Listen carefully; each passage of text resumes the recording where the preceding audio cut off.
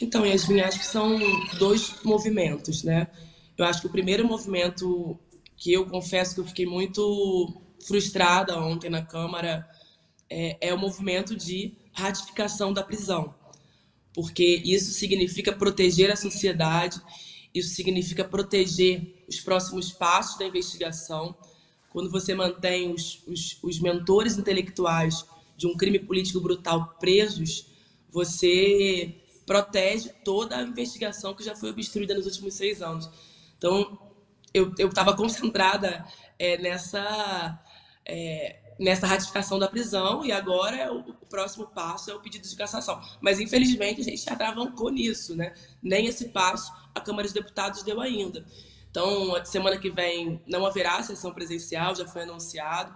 Então, a gente só vai conseguir tratar é, desse caso de novo no Congresso Nacional na próxima semana, ali, ali em torno de, de 9, 10 de abril.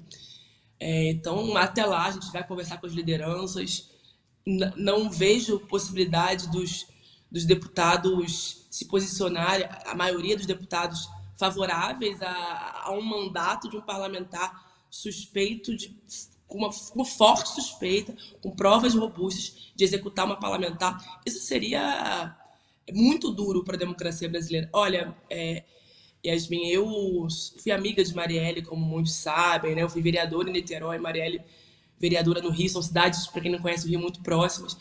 Mas é, é, eu estou falando aqui agora como uma representante do povo brasileiro, como uma, uma política. Isso, isso, não tem a ver com o nosso desejo de justiça individual. Isso tem a ver com tentar fechar, que nem sei se será possível, uma fratura na democracia brasileira. Aliás, a gente precisa, inclusive, exigir, essa é uma tarefa de todas as instituições brasileiras, que haja uma contundência no enfrentamento às milícias, que estão em 15 estados da federação, que dominam quase 60% do território do Rio de Janeiro. A gente precisa garantir, por exemplo, que avance uma PEC que a gente protocolou para que crimes cometidos por milicianos, crimes de milícia, possam ser federalizados temos que pegar esse fio é, e enfrentar a milícia contundentemente, finalmente.